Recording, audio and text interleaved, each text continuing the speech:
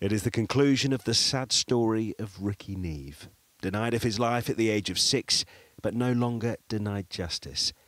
James Watson lived his life with impunity ever since he murdered him in 1994 until new DNA evidence proved his guilt.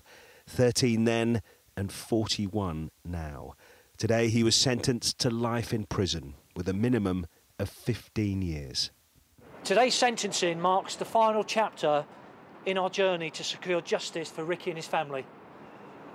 It has taken a significant period of time to get to this point, but we made a promise that we would find the person responsible for Rikki's death, and it's a promise that we've kept.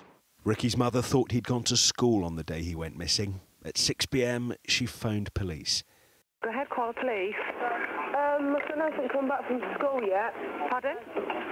I said I'll report with my son missing. He hasn't been back from school. Right. Well, I haven't seen him since this morning.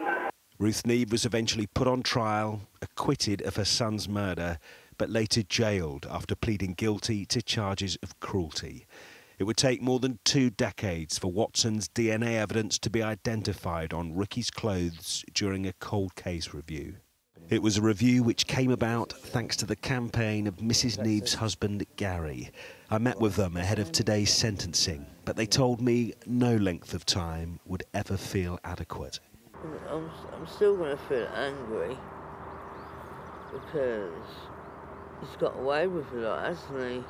He's not going to replace the 28 years Ruse had. Like, He's not going to replace the 28 years where the public have been told one thing about Rue, which has been a complete lie.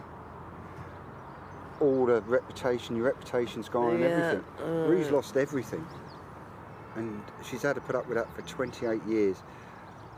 You know, we, he might get half of that. And when you look at it that way, then the system is wrong.